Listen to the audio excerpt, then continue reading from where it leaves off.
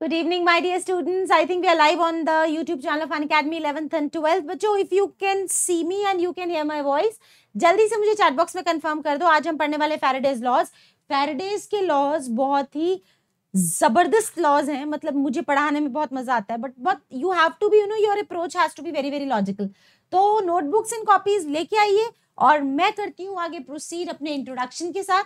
तो students as i have told you my name is monica bedi i did my phd in chemistry. I have 15 years of teaching experience and i qualified net exam national eligibility exam for lectureship which is conducted by council of scientific and industrial research india. And my rank in this particular exam was among top 30 all over india I also among the top most educators at Unacademy बच्चों you can also join this particular group ये official Telegram group है Unacademy का इसमें सारे updates notification link सब आते हैं मतलब कोई भी एडुकेटर जिसको आप फॉलो करना चाहते हो तो आपको क्लास नहीं मिस करनी आप इस ग्रुप को ज्वाइन कर लो क्योंकि सब अपने अपने लिंक्स यहीं पर फॉरवर्ड करते हैं अगर आपको नोट्स को डायरेक्टली स्कैन करना है, आपको ना बहुत ज़्यादा झमेला नहीं चाहिए तो इस क्यूआर कोड को स्कैन करके आप डायरेक्टली नोट्स तक पहुँच सकते हैं। डिजिटल वीडियो बुक सपोज़ करो आपके एग्ज़ाम में कोई ऐसा चैप्टर आ रहा है जो मैम ने आपको अभी करवाया ही नहीं है। तो फिर आप क्या करोगे? है ना? तो फिर आप ये इसको स्कैन करो क्यू आर कोड को, आप डिजिटल वीडियो बुक में पहुंचोगे जहाँ वन शॉट्स हैं बहुत सारे चैप्टर सेशंस लगे हुए हैं रिकॉर्डेड है। रिकॉर्डेड भी होंगे, लेकिन क्वालिटी इतनी अच्छी है कि आप एक बार देखोगे तो आपको सारे कॉन्सेप्ट अच्छे से क्लियर हो जाएँगे। ठीक है? आगे प्रोसीड करते हैं। This is my schedule I think this remote is not working well हाँ so this is my schedule जहाँ पे मैं मंडे वेंसडे फ्राइडे जो है, मैं नौ से दस लेती हूँ क्लास ट्वेल्थ और ट्यूसडे थर्सडे सैटरडे मैं चार से पाँच लेती हूँ class eleven I would really really recommend कि अगर आपके पास टाइम है, अगर आप मैनेज कर सकते हो तो इलेवेंथ क्लास की केमिस्ट्री जो होती है, वो कंपैरेटिवली और भी ज़्यादा टफ होती है और कॉम्पिटिशन में वेटेज भी अच्छी खासी करती है ये नीट जेई में। तो आप ज़रूर आओ और पढ़ो और अपने फ्रेंड्स को भी रिकमेंड करो और अपने जूनियर्स को भी बताओ कि मैम इलेवंथ पढ़ा रही है। ठीक है? इसके अलावा मैं ऐप पे क्लासेस दो बजे लेती हूँ, जो कि ट्वेल्थ की होती हैं और इनके डेज़ है ट्यूसडे थर्सडे सैटरडे अब वेंसडे को मैं नया चैप्टर स्टार्ट कर रही हूँ alcohol phenol ethers and weekend पे हमारी जेई नीट स्पेशल क्लासेस होती हैं, जो कि जेई नीट स्पेशल होती हैं और कहाँ होती है? अन अकेडमी लर्निंग ऐप पे in the form of special classes इस बार की क्लास जो है, वो मैं आपको बताती हूँ क्या होने वाली है वीकेंड पे जो जेई नीट स्पेशल है, उसके अलावा alcohol phenol ethers lecture one start हो रहा है ट्वेंटी थर्ड जून से दो बजे ज़रूर से ज़रूर आइए, क्लास लग चुकी है क्यू आर कोड को स्कैन करके नोटिफाई क्लिक कर देना, नोटिफाई तो क्या हो जाएगी, आप एनरोल हो जाएँगे उस क्लास के लिए, ठीक है? तो और ज़्यादा से ज़्यादा फ्रेंड्स को भी बता दो, मैंने अच्छा टाइम दे दिया, गैप दे दिया, न्यूक्लियोफिलिक सब्सटीट्यूशन कोई पढ़ना चाहे तो पढ़ ले, बाकी समझ में तो आएगा चैप्टर ठीक है? लेकिन जैसे जैसे प्रोसीड करेंगे, जस्ट एक बात बोल रही हूँ, न्यूक्लियोफिलिक सब्सटीट्यूशन टाइम निकाल के, मौका निकाल के, डोरेमोन नोबिता वाली कहानी जो है, उसको रिवाइज कर लें। इस क्लास को अनलॉक करने का तरीका है एम बी लाइव कोड से या फिर मोनिका कोड से। फ़ोटो इलेक्ट्रिक हाँ this I was talking about कि इस वीकेंड पे, जो मैं वीकेंड पे कंपटीशन स्पेशल क्लासेस लेती हूँ, जो कि सैटरडे को मैं लेने का सोच रही हूँ इस बार, वो क्लास जो है eleven thirty twenty six June Saturday yes photo electric effect tough topic of class eleven but competition के हिसाब से बहुत ज़्यादा इंपॉर्टेंट समझ में जल्दी से नहीं आता बट एक बार समझ में आता है तो लगता है कि कोई चीज़ समझ में आई है। मतलब वाकई में बहुत अच्छा है। तो इसमें मैं कंपटीशन लेवल क्वेश्चंस लाने वाली हूँ और ये पढ़ाने भी वाली हूँ। तो आप ज़रूर आए डी ब्रॉगली इक्वेशन भी करवाऊँगी। तो ये छोटे छोटे कॉन्सेप्ट है, इससे आपके इलेवंथ के इंपॉर्टेंट कॉन्सेप्ट बहुत अच्छे स्ट्रेंथन अप हो जाएँगे। बच्चों आज के डाउट फीचर अन की लर्निंग ऐप पे आ चुका है, जहाँ आप टाइम नहीं देखो, बस डाउट आया अन की लर्निंग आप खोली और सीधा कोई बिना समय देखे आपने डाउट पूछ लिया। हमारे एक्सपर्ट्स आपसे चैट करके आपको आपके डाउट के सोल्यूशन बता देंगे। उसके अलावा मैंने नया कोर्स स्टार्ट किया है प्लस के प्लेटफॉर्म पे और हम बहुत अमेजिंगली आगे बढ़ रहे हैं। We are all on fire बहुत ज़्यादा प्रैक्टिस और बहुत ज़्यादा डेडिकेशन और प्लानिंग के साथ चल रहा है हमारा ये वाला बैच जो कि ट्वेल्थ जून से स्टार्ट हुआ है। आप लेट बिल्कुल नहीं हुए हो। तो अगर आपको स्टार्ट करना है मेरे साथ प्लस के प्लेटफॉर्म पे आपको प्रॉपर ढंग से प्लानिंग से डिसिप्लिन से होमवर्क के साथ में और प्रॉपर डाउट्स, डिस्कशंस के साथ में पढ़ना है तो what you have to do you have to take Unacademy subscription जहाँ आपको आपके घर के बिल्कुल कंफर्टेबल माहौल से पढ़ने का मौका मिलेगा, आपको अनलिमिटेड एक्सेस मिलेगी सारे कोर्सेज की, आपको टॉप एडुकेटर्स से पढ़ने का मौका मिलेगा वन प्लेटफॉर्म पे। Regular three plus one formula पे डाउट सॉल्विंग होती है मतलब after every three classes we take one doubt class और इस डाउट क्लास में हम बच्चों के वो सारे डाउट्स कैटर करते हैं, जो कि हम यूट्यूब पे नहीं कर पाते हैं। ठीक है? एग्जॉस्टिव कवरेज ऑफ़ सिलेबस होती है मेंटरशिप एंड गाइडेंस आपको टॉप एडुकेटर्स की मिलती है। जैसे आपको ऑफलाइन में स्टडी मटेरियल मिलता है, वैसे हम लोग भी आपको एकदम अच्छे से हैंड रिटन नोट्स बना के देते हैं और टेस्ट आपके बहुत रेगुलरली होते रहते हैं, जिसमें आपकी रैंक्स भी आती हैं। और अगर आपकी रैंक्स अच्छी नहीं आई है तो आप डेफिनेटली अपने एडुकेटर्स से गाइडेंस ले सकते हैं कि रैंक्स को कैसे इंप्रूव करना है। बच्चों अगर आपको जे नीट का सब्सक्रिप्शन लेना अगर आप तैयारी प्रॉपरली जे नीट के कर रहे हो तो देश के टॉप मेंटर्स हमारे प्लस के प्लेटफॉर्म पे पढ़ा रहे हैं। ट्रस्ट मी बड़े बड़े जो कोचिंग इंस्टीट्यूट हैं ऑफलाइन के, जहाँ अब कोविड की वजह से जाना ना संभव है, और ना मेरे ख्याल से जब संभव था, तब भी फ़ीस वगैरह बहुत ज़्यादा थी। मतलब एक बच्चे को जेई नीट की तैयारी करवाने में लाखों रुपया खर्च हो जाता था। अन अकेडमी ने प्राइस करेक्शन के साथ सेम टीचर्स जो देश में टॉप थाउज़ेंड में टॉप हंड्रेड में रैंक्स निकालते हैं। उनको यहाँ इस प्लेटफॉर्म पे लाए you ask it we have it जितने भी जो टीचर्स हैं, जो ऑथर्स हैं इतनी बड़ी बड़ी किताबों के, वो हमारे अन अकेडमी की प्लस पे पढ़ा रहे हैं। तो आपको एटलीस्ट एक साल का या डेढ़ साल का सब्सक्रिप्शन ट्वेल्थ क्लास के बच्चों को लेना चाहिए। कोड एमबी लाइव है और ईजी ई ऑप्शन है। ठीक है? और forty two thousand five twenty five का डेढ़ साल का है and thirty four thousand six hundred fifty का एक साल का है। कोड नहीं भूलेंगे एम लाइव से आपको प्रॉपर डिस्काउंट मिल जाएगा। इसके अलावा हमारा इलेवन ट्वेल्थ का सब्सक्रिप्शन अगर आप हमसे पढ़ना चाहते हैं तो सीबीएसई क्लास ट्वेल्थ ऑप्ट करें फिफ्टीन मंथ्स का सब्सक्रिप्शन ले सकते हैं। एटीन थाउज़ेंड इसके चार्जेस हैं और एम लाइव रेफरल कोड से अगर इसके चार्जेस सपोज़ एटीन थाउज़ेंड है तो आपने सपोज़ रेफरल कोड लगाया M live master blaster live code तो ये आपका स्लैश डाउन हो जाएगा अट्ठारह कॉइन्स है तो दो हज़ार। ये सोलह हज़ार में सारे सब्जेक्ट्स आपको मिल जाएँगे पूरे पूरे पंद्रह महीनों के लिए। ठीक है? ताकि आगे आपके कॉम्पिटेटिव एग्ज़ाम्स तक भी आप हमसे कनेक्टेड रहेंगे। बहुत ज़बरदस्त चीज़ है बेटा। एंड कोड होगा एम बी लाइव जो कि आपको ई एम आई ऑप्शन भी अवेलेबल हो जाएँगे और डिस्काउंट भी प्रॉपरली मिल जाएगा। Students emerge with on it's time to help out one sibling as well for the first time in the history of Unacademy हम लोग एक मैसिव डिस्काउंट ओपन कर रहे हैं, जो कि सिबलिंग डिस्काउंट जो कि सेकंड आइकॉनिक सब्सक्रिप्शन पे मिलेगा। बहुत ज़बरदस्त चीज़ है। सिर्फ़ फ़र्स्ट वन थाउज़ेंड सब्सक्राइबर्स के लिए अभी ओपन किया है। अगर आपके सिबलिंग भी कोई सब्सक्रिप्शन लेते हैं तो मैसिव डिस्काउंट है सेकंड वाले आइकॉनिक सब्सक्रिप्शन पे। तो बच्चों, ये भी बहुत ज़बरदस्त चीज़ है। उसके अलावा ये ऑफर्स देख लीजिए कि अन अकेडमी पे अभी क्या क्या ऑफर्स चल रहे हैं। टू मंथ्स के ऑफर्स किस किस के कौन कौन से ड्यूरेशन के साथ चल रहे हैं, चार मंथ के फ्री सब्सक्रिप्शन किस किस ड्यूरेशन के साथ चल रहे हैं और छह महीने के किस किस ड्यूरेशन के साथ चल just have a look on the offers going on right now and iconic subscription पे यही ऑफर्स चल रहे हैं। And let's get started with the session ready बच्चों? कौन कौन बच्चा जुड़ चुका है? Prachi, Ayushi, Jyotika, Madhav, Ravi, Utkrisht. Very nice so many students are already there and जल्दी से सेशन को शेयर करो बच्चों। क्विकली क्योंकि आज जो पढ़ने जा रहे हैं, वो बहुत ही मस्त है। बहुत ही ज़बरदस्त। Hello Sukhman hi Gautam hi Hina Parvez यार, आज बहुत मज़े आने वाले न्यूमेरिकल लवर्स आ जाओ आज के। न्यूमेरिकल लवर्स जो है ना, वो आज just show me your presence in the chat box today क्योंकि आज न्यूमेरिकल्स भर भर के होंगे और दिमाग चला के करना है। Hi Anshatri Bittu hello Gunjan hi Rekha I am fine hi Manpreet all right चलो स्टार्ट करते हैं कॉपी पेन लेके आ जाए। सेशन को स्टार्ट करते हैं और न्यू चैप्टर फ्राइडे से स्टार्ट हो रहा है। इसी फ्राइडे से केमिकल काइनेटिक्स ठीक है? इसी फ्राइडे से केमिकल काइनेटिक्स भी स्टार्ट हो रहा है। Let me just remind you तो बच्चों, आज का टॉपिक है इलेक्ट्रोलिसिस और उसमें हम पढ़ने वाले फैराडेज लॉ ना व्हाट इज़ इलेक्ट्रोलिसिस इलेक्ट्रोलिसिस क्या होता है? जल्दी से सेशन को लाइक करो और हम स्टार्ट करते हैं इलेक्ट्रोलिसिस ये उल्टा है। मोबाइल फ़ोन होता है ना मोबाइल फ़ोन अभी तो मुझे कुछ दिख नहीं रहा ऐसा। मोबाइल फ़ोन यहाँ पे, शायद इस रूम में पड़ा ही नहीं है। अरे, है ना रे। तुम्हारी चैट्स देखती हूँ ना, ये ये तो मुझे मोबाइल लगता ही नहीं है, सिर्फ़ चैट्स के लिए रखा रहता है इधर। तो मोबाइल फ़ोन में जो बैटरी होती है मोबाइल फ़ोन में जो बैटरी होती है, वो स्विच ऑफ़ हो जाती है। और जब वो स्विच ऑफ़ हो जाती है ना तो उसको चार्ज करने के लिए चार्जर से कनेक्ट करना पड़ता है। तो उस समय हम बैटरी में ऐसी केमिकल रिएक्शंस करवाते हैं, जो कि अपने आप नहीं हो रही तो हम चार्जर से कनेक्ट करके मतलब इलेक्ट्रिकल एनर्जी के थ्रू केमिकल रिएक्शन करवाना this is electrolysis what is electrochemistry study between the relationship of chemical energy and electrical energy right हमने अब तक जो सीखा था Nernst equation Gibbs free energy equilibrium constant हमने हर बार केमिकल एनर्जी को इलेक्ट्रिकल एनर्जी में बदलते हुए देखा। हमने देखा कि कैसे अपने आप होने वाली केमिकल रिएक्शन से इलेक्ट्रिकल एनर्जी निकाली जा सकती है। अब हम क्या सीख रहे हैं? अब हम सीख रहे हैं कि किस तरीके से एक इलेक्ट्रिकल एनर्जी की मदद से केमिकल रिएक्शन भी करवाया जा सकता है। बहुत लॉजिकल टॉपिक है आज का। मज़ा उनको ही आना है जो दिमाग लगाएँगे और एंड तक लगाते रहेंगे। तो बच्चों, इसका लॉजिक मैं तुम्हें समझाती हूँ कि एक इलेक्ट्रोलिसिस क्या चीज़ है और बड़े मस्त अंदाज में समझाने की मैं कोशिश करूँगी। देखो, ये इलेक्ट्रोलिटिक सेल सबको दिख रहा है। इसमें सिंपली होता क्या क्या है? पहले मैं वो बता दूँ। इसके अंदर ये इलेक्ट्रोलिटिक सेल है, ये वो डिवाइस है जहाँ इलेक्ट्रोलिसिस की प्रोसेस करवाई जाती है, जो मैं अभी आपको समझाने वाली हूँ। इसमें इलेक्ट्रोलिटिक टैंक होता है, जो कि नॉन कंडक्टिंग मटीरियल वगैरह से बना रहता है। इसके अलावा इसमें इलेक्ट्रोलिटिक सॉल्यूशन होता है। थोड़ी बोरिंग बोरिंग बातें अभी अच्छा समझ में आएगा थोड़ी देर में।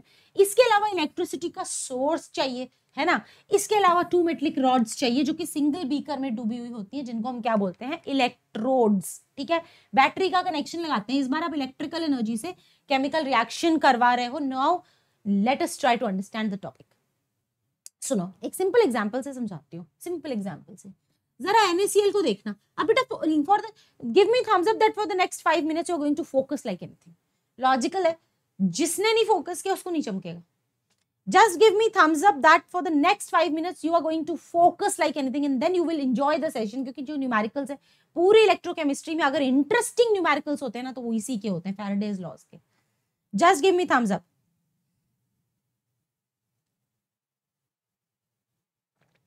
thank you thank you Rahul thank you so much बेटू रेडी फॉर फनी एग्ज़ाम्पल अभी मैं तो कोई फनी एग्ज़ाम्पल सोचा ही नहीं। अब तो सोचना पड़ेगा। सुखमन ने मांग लिया फनी एग्ज़ाम्पल आज हमारी न्यूमेरिकल एक्सपर्ट कहाँ है? प्रियंका नहीं आई आज? चलो। ओके तो स्टार्ट किया जाए। बेसिकली मैं तुम्हें एक छोटा सा एग्जांपल देती हूँ, बस फोकस करना। एनएसए को मैंने ब्रेक किया एनएससीएल को एन प्लस और सीएल माइनस में ये तुम जानते हो, ये आयोनाइज होता है।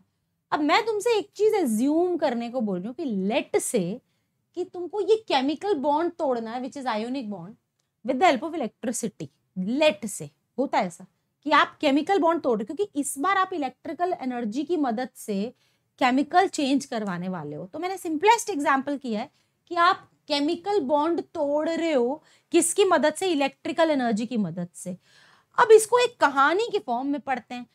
एक बात बताओ, इसको जब एक दूसरे से जुदा करना है एन प्लस और सी एल माइनस तो मोहब्बत में होते हैं, एक दूसरे के साथ opposite charges love each other so अगर आपको इस एक दूसरे से एन को अलग करना है तो वो पिक्चर्स में होता है ना हीरो हीरोइन को ऐसे ऐसे हाथ छूटते हुए देखा, यू यू यू यू करके यू करके यू करके, यू। तो कैसे खींचते हैं उनको? जो भी हीरो होता है, उसके पेरेंट्स उसको खींचते हैं और हीरोइन के पेरेंट्स उसको खींचते हैं सपोज़ लेट से इमेजिन करो। तो एन और सी को इलेक्ट्रिसिटी की मदद से ऑपोजिट ऑपोजिट डायरेक्शन में क्या किया जाएगा? ऐसा खींचा जाएगा, ठीक है? दूर किया जाएगा। कैसे किया जाएगा? सोचो। Na प्लस को अगर आपको अट्रैक्ट करना है तो मुझे बताओ Na प्लस किस सिचुएशन में है after being detached from its love that is chloride ion ये क्या कर सकता है? क्या ये इलेक्ट्रॉन गेन करेगा या लूज करेगा? ये मुझे आप कमेंट बॉक्स में लिख के बताओ। क्या ये इलेक्ट्रॉन गेन करेगा या लूज करेगा? उत्कृष्ट! इतनी इतनी, ये, इतनी बेकार अरे उत्कृष्ट बेटा। गेन करेगा या लूज करेगा? कुंदन कह रहे हैं लूज करेगा, प्राची जा कह रही है एन प्लस लूज करेगा, जबकि वरुण कह रहे हैं बाक सारे बच्चे कह रहे हैं लूज करेगा। अच्छा ठीक है, चलो मैं नाम लेती हूँ कौन कौन कह रहा है लूज कौन कौन कह रहा है गेन अब देखते हैं एक्चुअली में आंसर किसने गेन किया और किसने किया इस कंसेप्ट को लूज वरुण कह रहे हैं गेन आदर्श कह रहे हैं गेन सुहाना कह रहे हैं lose Gunjan lose Hina Parwaz lose Hina Parvez lose okay, Nikita lose Ayushi lose तुम पिटोगे सबके सब। N A plus by the way क्यों इलेक्ट्रॉन लूज करेगा? एन ए इनिशियली सोडियम की जो कंसेंट्र सोडियम की जो कॉन्फ़िगरेशन होती है, वो टू एट वन होती है, और एन ए प्लस की कॉन्फ़िगरेशन टू एट हो चुकी है। अब वो अपने आठ में से क्यों इलेक्ट्रॉन देगा? तुमको ऐसा तुमने क्या करके दिखाया है इसको कि ये इलेक्ट्रॉन लूज करने को तैयार बैठा है तुम्हारे लिए, जो कि पॉजिटिवली चार्ज स्पीशीज जिसका इफ़ेक्टिव न्यूक्लियर चार्ज ज़्यादा ऐसे तुम कितने महान हो कि तुम्हारे लिए ये एक और इलेक्ट्रॉन छोड़ देगा अपने आउटर शेल में से, जिसमें आठ इलेक्ट्रॉन पड़े हैं, जिसकी ऑक्टेट कंप्लीट है, जो स्टेबल है, ये इलेक्ट्रॉन लूज क्यों करेगा? इसमें पॉजिटिव चार्ज है, इलेक्ट्रॉन को अट्रैक्ट नहीं करेगा ये ये अट्रैक्ट नहीं कर रहा, ये गेन नहीं कर रहा, इलेक्ट्रॉन पे नेगेटिव चार्ज है, लेकिन ये लूज कर रहा है। ये कह रहा है कि मैं तो मतलब ऐसा ही हूँ, बेवकूफ़ हूँ, ले जाओ इलेक्ट्रॉन, लेते जाओ सोडियम ये बोल रहा है। ऐसा ही बोल रहा है? है ना? ऑल दो मैं स्टेबल हूँ, मेरे पास आठ इलेक्ट्रॉन है ऑक्टेट में, लेकिन कोई बात नहीं, ऐश करो, ले जाओ और इलेक्ट्रॉन। ऐसा बोल रहा है ये? पॉजिटिव चार्ज है बेटा अगर ये कुछ कर सकता है तो इलेक्ट्रॉन गेन कर सकता है। लूज तो कतई नहीं कर सकता और गेन करने का कारण है कि इसके घर की स्थिति वही है। इस, इस ये नॉर्मली उस स्टेट में रहता है। टू एट वन इसकी स्टेबल स्टेट है। ठीक है? दूसरी बात एक positively charge species electron lose कैसे करेगी यार? गेन ही तो करेगी। दिमाग लगाओ पॉजिटिव चार्ज नेगेटिव चार्ज ठीक है? ऐसा तुमने कोई महान काम नहीं किया कि तुम्हारे लिए सोडियम अपना मतलब आठ में से एक इलेक्ट्रॉन और लूज कर दे। तो ये इलेक्ट्रॉन गेन करेगा। तो जब ये गेन करेगा तो गेन करने की प्रोसेस को हम क्या बोलते हैं? रिडक्शन रिडक्शन और इससे क्या बन जाता है? सोडियम न्यूट्रल बन जाता है। क्वाइट जस्टिफाइंग क्योंकि sodium as a metal stable भी होता है। N A plus quite stable N is also stable ये इलेक्ट्रॉन लूज करके एन ए टू प्लस तो मैंने तो नहीं सुना आज तक। ठीक है? समझे कि नहीं समझे?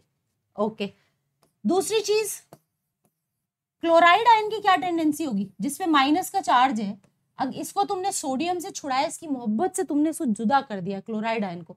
अब मुझे बताओ कि ये किस स्थिति में इलेक्ट्रॉन लूज करने की या गेन करने की पिटोगे अगर उल्टे पुल्टे जवाब दिए तो? बताओ जरा डिजिटल पिटाई होगी उड़ता हुआ आएगा सीधा टाक क्लोराइड आयन सीएल माइनस क्या करेगा? गेन करेगा लूज करेगा? जल्दी।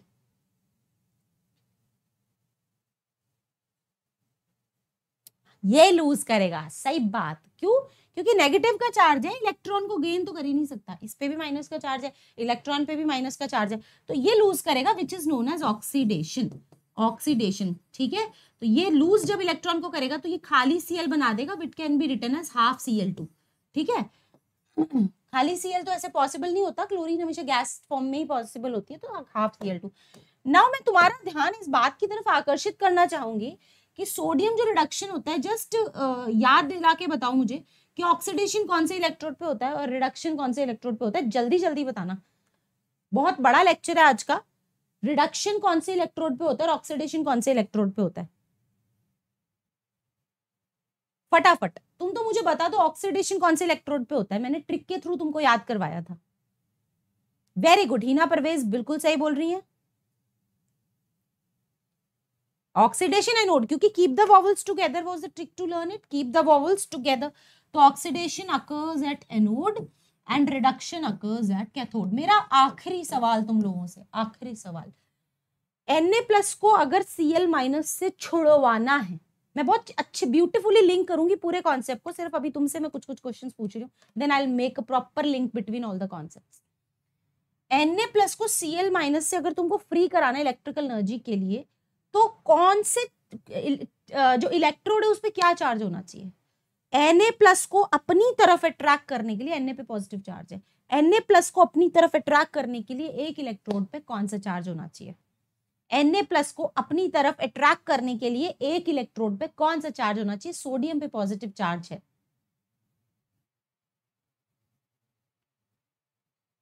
Exactly Prachi Jha exactly exactly exactly, Khan negative सब बच्चों को क्लियर हो रहा है। यानी कि सोडियम उसी की तरफ़ जाएगा जो कि नेगेटिव होगा विच मीन्स कि cathode should be negative in electrolytic cell and anode should be positive for electrolytic cell which is just opposite of what you have studied in electrochemical cell अब सुनो मैं पूरी बात को बहुत अच्छे से लिंक करने जा रही हूँ। ध्यान से सुनना। हमने क्या किया?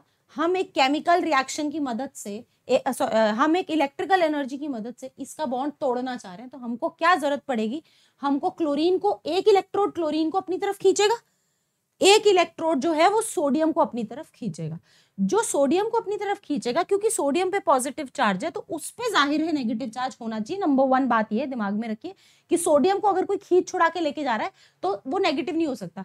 ठीक है, वो पॉजिटिव नहीं हो सकता, क्योंकि सोडियम पे पॉजिटिव है तो पॉजिटिव पॉजिटिव में तो रिपल्जन होता है। तो that electrode which pull sodium towards itself should be negatively charge एक कॉन्सेप्ट ये भी है कि सोडियम जिस इलेक्ट्रोड पे जाएगा इलेक्ट्रॉन को क्या करेगा? गेन लूज कर नहीं सकता। तो रिडक्शन करेगा। अब रिडक्शन तो कैथोड पे होता है। ये फॉर्मूला फिक्स है। हमारा पूरी इलेक्ट्रोकेमिस्ट्री मैंने तुम्हें पढ़ाया कि रिडक्शन कैथोड पे होता है और ऑक्सीडेशन एनोड पे होता है। तो क्योंकि सोडियम रिडक्शन करता है और रिडक्शन कैथोड पे होता है और सोडियम खींचेगा उसी से जिसमें नेगेटिव चार्ज होगा तो कैथोड पे नेगेटिव चार्ज होता है इलेक्ट्रोलिटिक सेल में। यानी कि एक नेगेटिवली चार्ज कैथोड सोडियम को अपनी तरफ़ पुल करने की कोशिश करता है और ये एनर्जी सोडियम को अपनी तरफ़ पुल करने की ये एनर्जी आती है इलेक्ट्रोकेमिकल सेल में इलेक्ट्रिकल सोर्स से बैटरी से। यहाँ से आती है एनर्जी ठीक है? सिमिलरली क्योंकि क्लोरीन पे नेगेटिव चार्ज है तो जो क्लोरीन को अपनी तरफ़ पुल कर रहा है, उस पर होना चाहिए पॉजिटिव चार्ज ठीक है? क्लियर है क्योंकि सीएल माइनस किसी माइनस से नहीं खींचेगा। सीएल खुद माइनस है तो वो किसी माइनस से नहीं खींचेगा। वो किससे खींचेगा? प्लस से। लेकिन सीएल का नेचर क्या है? सीएल माइनस का नेचर है ऑक्सीडाइज होने का। लेकिन हमें पता है ऑक्सीडेशन तो एनोड पे होती है which means anode has to be positively charge in this अब एनोड के पास वो क्षमता कहाँ से आई कि वो क्लोरीन को अपनी तरफ़ खींच रहा है? वो क्षमता बैटरी से आई। तो बैटरी की मदद से यानी इलेक्ट्रिकल एनर्जी की मदद से इन इलेक्ट्रोड्स ने जुड़े जुड़ाए बॉन्ड्स को, जैसे एनएसीएल के बॉन्ड तोड़ करके अपनी अपनी तरफ़ खींच लिए। तो कैथोड पे क्या जमा हुआ? कैथोड पे सोडियम डिपॉजिट हुआ। जबकि एनोड पे क्या हुआ? एनोड पे क्लोरीन गैस लिबरेट हुई। जब गैस बनती है तो उसको हम कहते हैं लिबरेट होना और मेटल बनता है तो हम कहते हैं डिपॉजिट हुआ। Is that clear to everyone सबको समझ आ रहा है? हम इलेक्ट्रिकल एनर्जी की मदद से दो प्यार करने वालों को जुदा करने की कोशिश कर रहे हैं, क्योंकि हम केमिकल बॉन्ड तोड़ रहे हैं। तो it is very very obvious कि पॉजिटिव चार्ज को अपनी तरफ़ खींचेगा वो नेगेटिव होना चाहिए, और नेगेटिव को अपनी तरफ़ खींचेगा वो पॉजिटिव होना चाहिए। अब तुम उसका नेचर देख के बोलो, भाई एन प्लस क्या होता है? एन प्लस तो इलेक्ट्रॉन गेन करेगा। यानी रिडक्शन यानी ये लिंक है पूरा। यानी रिडक्शन रिडक्शन होता है कैथोड पे cathode has to be negative Cl minus क्या करता है? इलेक्ट्रॉन को देता है मतलब लूज करता है लूज करता है, ठीक है? तो लूज करता है मतलब ऑक्सीडेशन करता है ऑक्सीडेशन एनोड पे होता है और anode has to be positive because minus को खींचने वाला तो प्लस ही होना चाहिए। तो इस लिहाज से cathode anode are oppositely charges that of electrochemical cell बेटा आप याद करो अपने टेंथ में जो सेल पढ़े थे, उनपे कैथोड नेगेटिव और एनोड पॉजिटिव था। वो तो आप ट्वेल्थ में आपने इलेक्ट्रोकेमिकल सेल पढ़े, जिसमें एनोड नेगेटिव और कैथोड पॉजिटिव हुआ। I hope it is clear thank you so much Subhash बेटा। यार तुम लोग अपने पापा वापा के नाम से भी आ जाते हो और मैं तुम्हारे नाम के आगे बेटा लगाती हूँ। तो अपने नाम से आया करो। सबको क्लियर चलो, आगे बढ़ते हैं।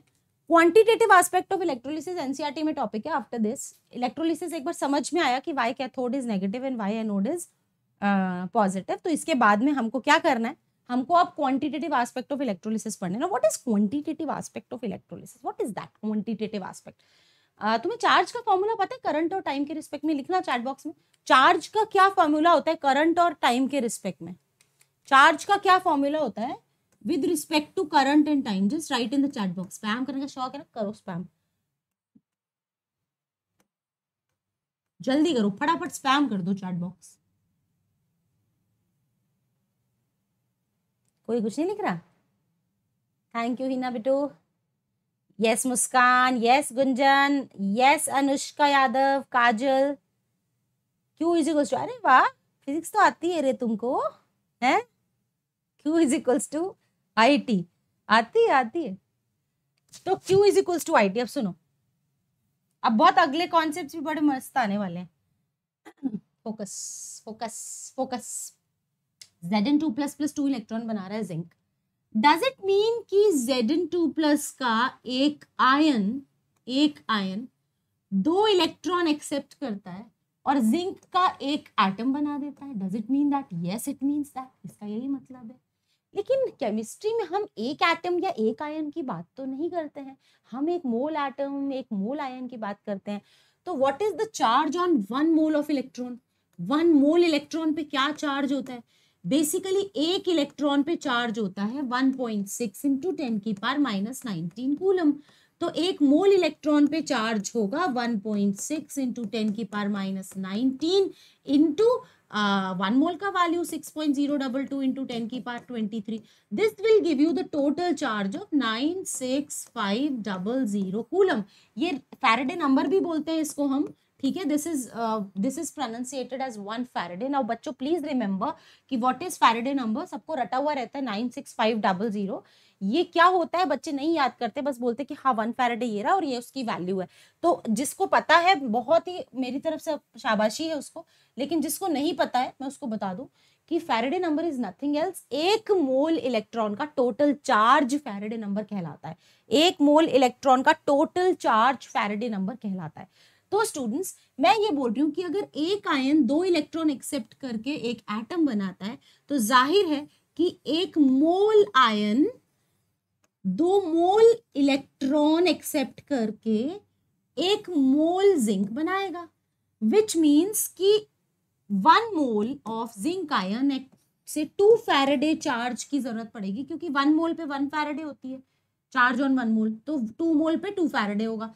तो उससे वन मोल जिंक बनेगा, जिसका मास 65 ग्राम होगा विच मीन्स कि अगर तुम इलेक्ट्रिसिटी की मदद से टू फेरेडे के बराबर two into nine six five double zero coulomb charge के बराबर चार्ज पास करते हो इलेक्ट्रोलिटिक सेल से तो 65 ग्राम ऑफ़ जिंक मेटल का डिपोजिशन हो जाता है रिस्पेक्टिव इलेक्ट्रोड पे। जिस भी इलेक्ट्रोड पे डिपॉजिट हो रहा है, मैं अभी ये बात नहीं कर रही किस पे डिपॉजिट हो रहा है क्वांटिटेटिव एस्पेक्ट पढ़ रहे कितना? दो फेरेडे चार्ज पास कराओगे तो 65 ग्राम डिपॉजिट होगा। दो फेरेडे। एक और एग्ज़ाम्पल करके देखते हैं। एक और एग्ज़ाम्पल करके देखते हैं। कॉपर। कॉपर टू प्लस, ठीक है? ये दो इलेक्ट्रॉन एक्सेप्ट करता है बच्चों तो ये कॉपर का एक एटम बनाता है। विच मीन्स जिसका सीधा सीधा मतलब ये है कि अगर मैं एक मोल कॉपर आयन ले लूँ तो दो फेरेडे चार्ज की ज़रूरत पड़ेगी। ताकि वन मोल कॉपर बनेगा, जिसका मास है 63.5 ग्राम यानी किसी भी इलेक्ट्रोड पे, जिस इलेक्ट्रोड पे कॉपर डिपॉजिट होता है, किसी ऐसे इलेक्ट्रोड पे 63.5 ग्राम का कॉपर डिपॉजिट करने के लिए तुमको दो फेरेडे चार्ज पास कराने की ज़रूरत है। एक और एग्ज़ाम्पल ले लेते हैं। Let me take one more example और अब वो अगला एग्ज़ाम्पल है, जैसे सिल्वर ले लो।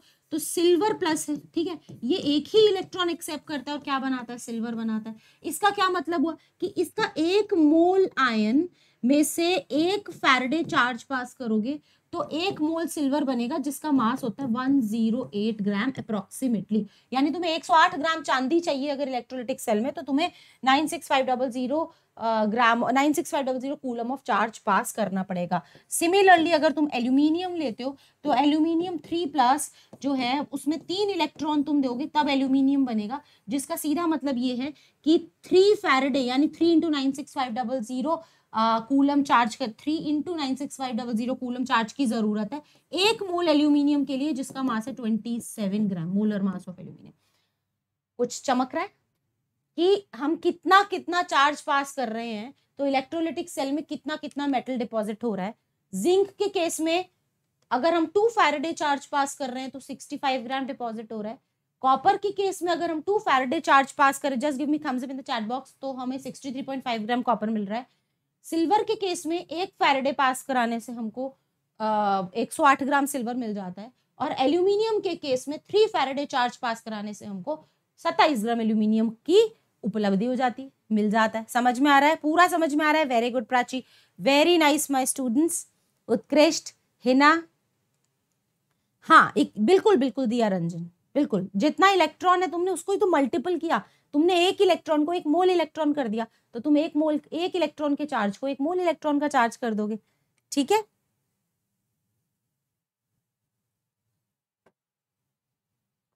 Clear okay very good very good gold का मोलर मास कितना होता है उस हिसाब से? देख लो 197 चलो latest take example of gold also gold 197 gram molar mass होता है, ठीक है? तो गोल्ड के केस में जैसे अगर एयू प्लस है तो उसमें एक फेरेडे चार्ज पास कराओगे तो 197 गोल्ड का डिपोजिशन हो जाए। सबको क्लियर है?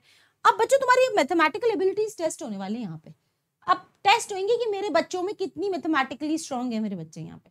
और मेरी एक बच्ची है जो इतनी जो, जो मेरे को आज दिख नहीं रही चैट बॉक्स में रियली मिसिंग हर वो इतनी दीवानी है न्यूमेरिकल्स की। फटाफट फटाफट न्यूमेरिकल्स करती है। I am not I am not able to find her in the chat box right now है ना? तो चलो कोई नहीं कोई नहीं कोई नहीं। एनीवेज ये समझ में आ गया। अब मुझे एक बात बताना जरा। दो फेरेडे चार्ज पास करने से पैंसठ ग्राम का डिपोजिशन हुआ है। चार फेरेडे कराते तो कितना डिपोजिशन होता? बहुत सिंपल क्वेश्चन है। चार फेरेडे कराते तो कितना डिपोजिशन होता? मैं तुम्हें चुटकियों में समझाऊँगी, देखना फेरेडे लॉज रटवाऊँगी नहीं। चार फेरेडे कराते तो कितना डिपोजिशन होता? थैंक यू थैंक यू सहज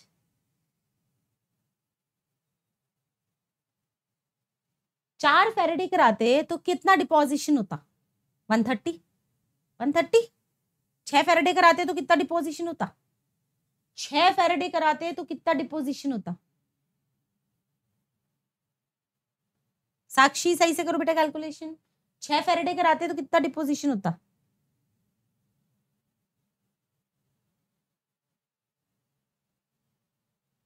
One ninety five Ansha three very good very good तो बेसिकली दो फेरेडे कराया तो इतना, बाकी मल्टीपल्स चार फेरेडे कराते तो ये भी डबल हो जाता वन थर्टी छह फेरेडे कराते तो ये भी ट्रिपल हो जाता। इसका ये तो हर किसी के साथ है यार। कॉपर में भी दो फेरेडे कराया तो सिक्सटी थ्री पॉइंट फाइव बना, चार फेरेडे कराया तो डबल बनता। सिल्वर में एक फेरेडे कराने से 108 बना, दो फेरेडे करा देते तो 216 बन जाता।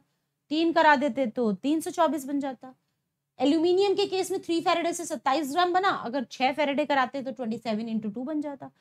विच मीन्स कि जितना ज़्यादा चार्ज तुम पास कराओगे इलेक्ट्रोलिटिक सेल में से उतना ही ज़्यादा मास डिपॉजिट होता जाएगा क्योंकि कंटिन्यूसली जो चार्ज पास हो रहा है वो मेटल की डिपॉजिशन में मदद कर रहा है। वो मेटल को, मेटल आयंस को रिड्यूस करता जा रहा है। जो तुम चार्ज पास करा रहे हो, वो मेटल आयंस को क्या करता जा रहा है? रिड्यूस करता जा रहा है। तो जितना ज़्यादा चार्ज, उतना ज़्यादा मास। कहना है राइट जितना ज़्यादा चार्ज, उतना ज़्यादा मास। किसी भी सेल को देख लो तुम। जितना चार्ज पास कराओगे, आयंस उतनी जल्दी जल्दी जल्दी जल्दी रिड्यूस होते जाएँगे और मेटल भर भर के बनेगा भर भर के बनेगा। Clear thank you Preksha give me thumbs up in the comment box जल्दी से yes this is Faraday's first law this is Faraday's first law Faraday first law को बुक में से पढ़ने पे ऐसा लगता है भगवान, ये क्या हो गया भाई? फेराडे फ़र्स्ट लॉ इतना सिंपल था, लेकिन मेरे को बैकग्राउंड स्टोरी बनानी पड़ी पूरी, ठीक है? द लॉ स्टेट्स दैट रटते बच्चे इसको, और बोरिंग और लगता है रटने में पकाऊ लगता है एकदम। The mass of the substance liberated at the electrode is directly proportional to quantity of electricity passed through the electrolyte. जितनी इलेक्ट्रिसिटी पास करोगे, उतना ही आयंस का रिडक्शन होगा, उतना ही ज़्यादा मास इलेक्ट्रोड पे डिपॉजिट होगा। This is Faraday's first law अब आता है फेराडेज सेकंड लॉ डायरेक्टली पढ़ के देखो, समझ में आ रहा है क्या? नहीं तो इसके लिए भी अपन बैकग्राउंड क्रिएट करेंगे। इसको पढ़ के मुझे बताओ, समझ में आ रहा है कि नहीं? नहीं समझ में आ रहा, मैं बहुत सॉलिड स्टोरी बनाऊँगी इसकी भी।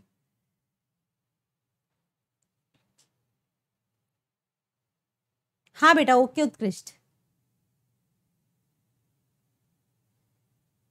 नंदिनी, बेटा, पढ़ लो। हालचाल तो बाद में पूछ लेना।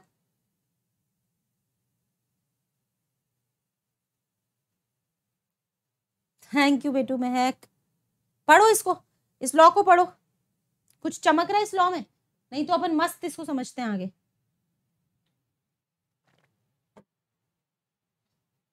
हँसी आ रही है सबको।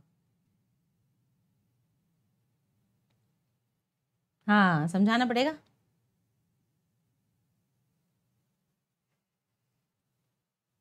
मैं ही बता दूँ।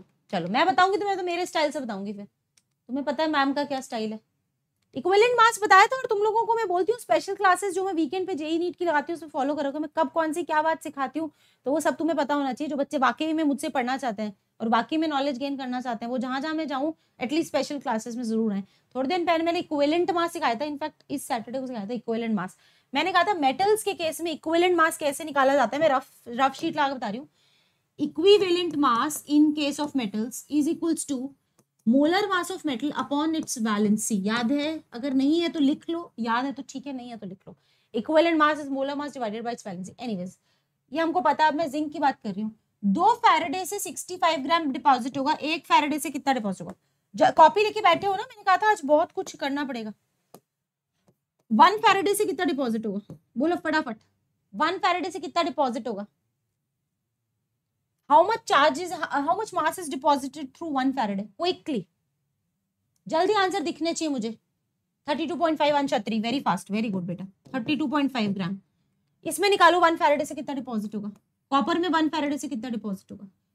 अगर तुम, तुमको मैं इस तरीके से समझा रही हूँ कि इसका एक बहुत टफ न्यूमेरिकल बनता है, वो देखना तुम्हें कितना इजी लगेगा, इस तरीके से समझने पे। फटाफट बताओ वन फेरेडे से कितना डिपॉजिट होगा? बहुत अच्छा चक्रव्यूह बना रहे हैं अपन। ये 63.5 का हाफ़ कर लो ना 30 और 3.5 का आधा कितना होता है? 1.75 तो 31.75 हो गया ना? हाँ very good very good 31.75 okay silver के वन फेरेडे से कितना डिपॉजिट होता है? डायरेक्टली लिखा हुआ है। और एल्यूमिनियम के वन फेरेडे से कितना डिपॉजिट होगा? एल्यूमिनियम का डिपॉजिट होगा नाइन ग्राम ठीक है? एंड इसके मोल इक्विलेंट मासेस कैलकुलेट करना। जिंक का इक्विलेंट मास है। जिंक का molar mass upon its valency valency zinc की प्लस टू होती है। तो molar mass divided by two यानी कि thirty two point five gram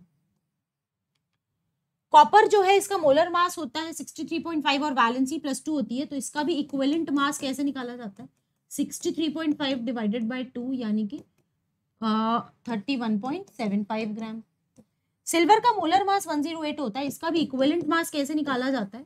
one zero eight ही होगा इसका, क्योंकि इसका जो एन फैक्टर है वो वन है बैलेंस ही वन है। और एल्यूमिनियम का इक्विवेलेंट मास हो जाएगा नाइन ग्राम क्या इससे कंक्लूजन निकलता है कि मैम किसी भी सेल में से अगर आप वन फेरेडे इलेक्ट्रिसिटी पास कराओगे तो उसके इक्विवेलेंट मास के बराबर डिपोजिशन हो जाएगा। किसी भी इलेक्ट्रोलिटिक सेल में अगर आप वन फेरेडे चार्ज पास कराते हो वन फेरेडे तो इलेक्ट्रोलिटिक उसका इक्विवेलेंट मास के बराबर डिपॉजिट है। जिंक का इक्विवेलेंट मास होता है ये, और वन फेरेडे पास कराने से यही डिपॉजिट हुआ। कॉपर का इक्विवेलेंट मास होता है ये, और वन फेरेडे कराने से यही डिपॉजिट हुआ। सिल्वर का इक्विवेलेंट मास और मोलर मास सेम होता है, क्योंकि बैलेंस इसकी प्लस वन है वन है मतलब। तो इसलिए इसके वन फेरेडे से 108 ग्राम डिपॉजिट हुआ। और एल्यूमिनियम में वन फेरेडे से सिर्फ़ नौ ग्राम डिपॉजिट हुआ। क्लियर हो रहा है? धीरे धीरे चल रहे फास्ट तो नहीं है।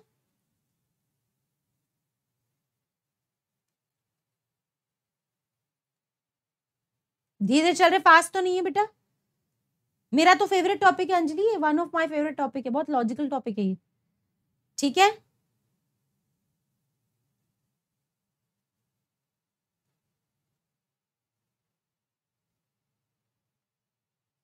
समझ में आ रहा है ओके चलो। खुश रहो बेटा पीयूष, खुश रहो, मेरे प्लस का सब्सक्राइबर ठीक है ओके समझ में आ रहा है। तो अगर मैं सिल्वर को एल्यूमिन, सिल्वर को और एल्यूमिनियम को सीरीज़ में लगा दूँ, और मैं दोनों में से बराबर क्वांटिटी ऑफ़ चार्ज पास करूँ लेट से वन फेरेडे तो सिल्वर में 108 ग्राम डिपॉजिट हो जाएगा मेटल जबकि एल्यूमिनियम में सिर्फ़ 9 ग्राम, ऐसा क्यों हुआ? सिल्वर दोनों को सीरीज़ में लगा दिया मैंने, और मैंने equal quantity of charge pass किया। तो जब दोनों को सीरीज़ में लगाने से इक्वल क्वांटिटी ऑफ़ चार्ज में चार्ज मेरा बराबर था, लेकिन सिल्वर का 108 ग्राम डिपॉजिट हुआ और एल्यूमिनियम का सिर्फ़ 9 ग्राम डिपॉजिट हुआ। कॉपर का सेम, कॉपर को भी सीरीज़ में लगा दो 31.75 इसका मतलब अगर आप डिफरेंट डिफरेंट इलेक्ट्रोलिटिक सेल को सीरीज़ में लगा देते हो और आप same quantity of charge pass करते हो तो जो मास डिपॉजिट होता है, वो उसके इक्विवेलेंट मास के प्रोपोर्शनल होता है। जिसका इक्विवेलेंट मास ज़्यादा है, उसका मास ज़्यादा डिपॉजिट होगा। और जिसका इक्विवेलेंट मास लुल टाइप का है तो उसका मास भी डिपॉजिट कम होगा। एक बार फिर से इस कॉन्सेप्ट को समझिए, बहुत आसान लगेगी। मैंने कहा था कि जिंक के जिंक के एक आयन को दो इलेक्ट्रॉन की ज़रूरत है, एक एटम बनाने के लिए विच मीन्स की जिंक के एक मोल आयन को दो मोल इलेक्ट्रॉन की ज़रूरत है, एक मोल एटम बनाने के लिए। विच मीन्स दो मोल का मतलब होता है two Faraday of charge two Faraday charge pass कराने से पैंसठ ग्राम की डिपोजिशन होती है तो हमने फाइंड कर लिया कि वन फेरेडे कराने से कितना डिपोजिशन होगा। बाय मतलब हम ये भी जानते हैं कि जो जिंक का इक्वलेंट मास होता है, वो थर्टी टू पॉइंट फाइव होता है और वन फेरेडे कराने से थर्टी टू पॉइंट फाइव की डिपोजिशन होती है। कॉपर में वन फेरेडे कराने से thirty one point seven five होती है, क्योंकि इसका इक्वलेंट मास भी इतना होता है।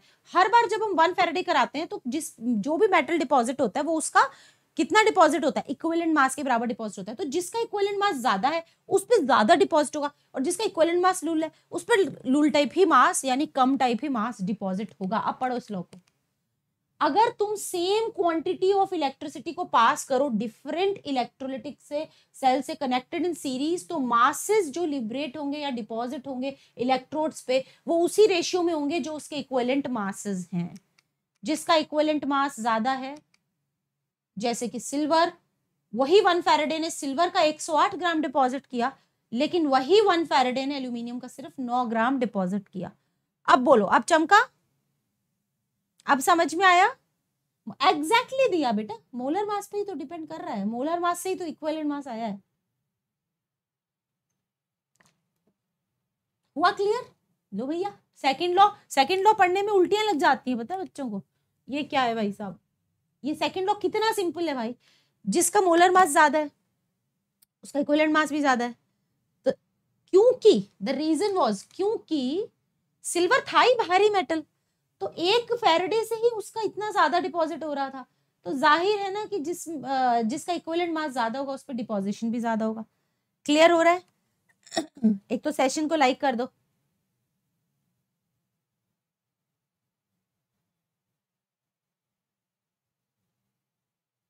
नहीं डिफरेंट नहीं बेटा। फेरेडे ने जो लॉ बनाया वो सेम क्वांटिटी ऑफ़ चार्ज से बना। डिफरेंट करोगे तो सब डिफरेंट ही होगा ना फिर। डिफरेंट करोगे, फिर तो डिफरेंट ही है। लॉज जो बनते हैं, वो ऐसे थोड़ी बनते हैं। डिफरेंट करेंगे तो डिफरेंट करोगे तो डिफरेंट वाइड मतलब ऑब्वियसली डिफरेंट डिपॉजिट होगा। सेम करेंगे तो भी डिफरेंट डिपॉजिट हो रहा है बट उसकी प्रोपोर्शनिटी चेक कर रहे हैं कि इक्वलेंट मास पे वो डिपेंड कर रहा है। WhatsApp status studio please spam नहीं करें। प्लीज़ स्पैम नहीं करें, आपको मॉडरेटर्स ब्लॉक कर देंगे। अगर आप स्पैम करोगे एक ही मैसेज को बार बार बार बार समझ में आ गया तो थम्स अप कर दो। आपके साथ पढ़ने में सब इजी लगता है। थैंक यू प्राची बेटू क्लियर ओके तो हमने दो लॉज पढ़ लिए और बहुत मस्त हमको मतलब हमको रटने ही नहीं पड़े। हमको फट से समझ में आ गए, जल्दी से।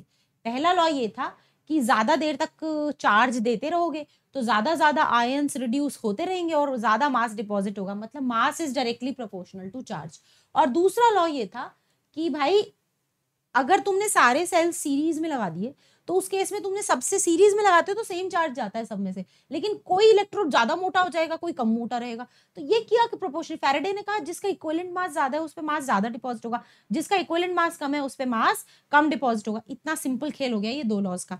अब मैं तुम्हें न्यूमेरिकल्स करना सिखाऊँगी और वो भी बहुत सिंपल तरीके से, बहुत सिंपल तरीके से। देखो जरा।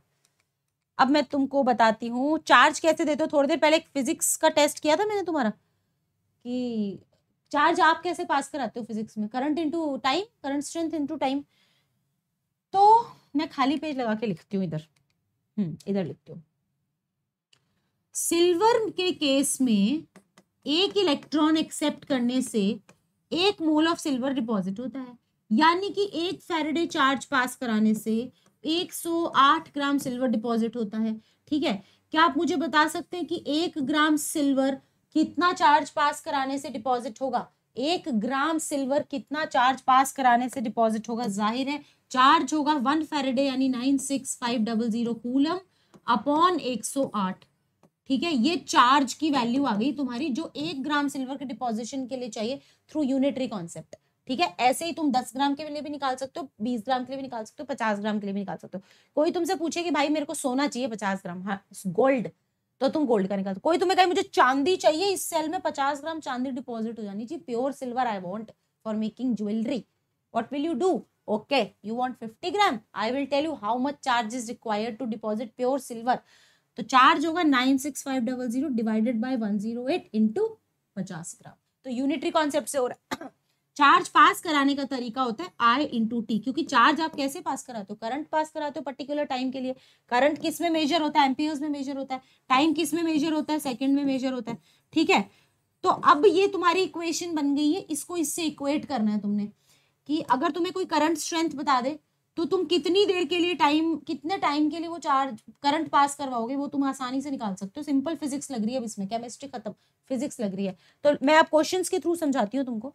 ये देखो क्वेश्चन वन आज का how much charge is required for the reduction of how much charge is required for the reduction of one mole of M G two plus कितना सिंपल सा सवाल है, फटाफट करो। एम जी टू प्लस दो इलेक्ट्रॉन एक्सेप्ट करता है तो मैग्नीशियम बनाता है। वो कह रहा है कि एक mole M G two plus को एक मोल मैग्नीशियम में बदलना कितने चार्ज की ज़रूरत है? बोलो फटाफट फटाफट चैट बॉक्स भर दो न्यूमेरिकल्स करना शुरू कर दो। जल्दी से। खूब सारे न्यूमेरिकल्स हैं।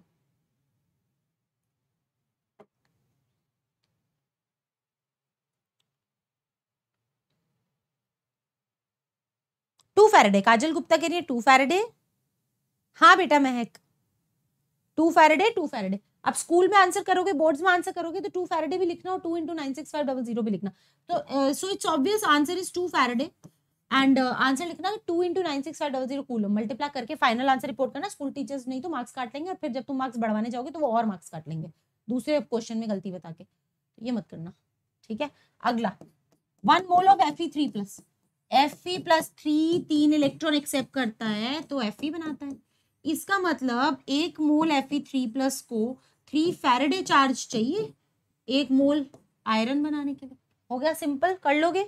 थर्ड सवाल, तीसरे नंबर का, कितने सिंपल हो गए? जस्ट लुक एट देम की they have nothing to do M N O four minus में ऑक्सीडेशन स्टेट क्या है? प्लस सेवन और ये किसमें कन्वर्ट हो रहा है? एम एन टू प्लस में। कितना डिफरेंस है? सात और दो में पाँच का डिफरेंस होता है मतलब पाँच इलेक्ट्रॉन का गेन होगा, तब ये प्लस सेवन से प्लस टू में आएगा। इसका मतलब वन मोल पर मैग्नेट आयन को फाइव फेरेडे चार्ज चाहिए, तब वो जाके एक मोल मैग्नीज में कन्वर्ट होगा। ठीक है? तो what is your answer five faraday clear answer क्या लिखोगे? फाइव फेरेडे को फाइव फेरेडे तो लिखोगे अंडरलाइन करोगे, साथ में लिखना five into nine six five double zero coulomb next question faraday की टर्म्स में आंसर देना है। अब तुमको आंसर फेरेडे के टर्म्स में देना है। कि आ, कितना चाहिए? जैसे calcium from C S C L two तो C S C L two में कैल्शियम अपने प्लस टू स्टेट में होता है। प्लस टू स्टेट में। कैल्शियम प्लस टू ये दो इलेक्ट्रॉन माँगता है तब ये कैल्शियम बनाता है। ठीक है? वो तुम्हें कह रहे और कैल्शियम का मोलर मास होता है फोर्टी ग्राम्स बट इनको चाहिए ट्वेंटी ग्राम्स डिपॉजिट कितना का मांग रहे हैं? कह रहे हैं तो बीस ग्राम कैल्शियम चाहिए। तो मुझे बताओ अगर फोर्टी ग्राम का डिपोजिशन टू फैराडे से होता है तो ट्वेंटी ग्राम का डिपोजिशन कितने से होगा?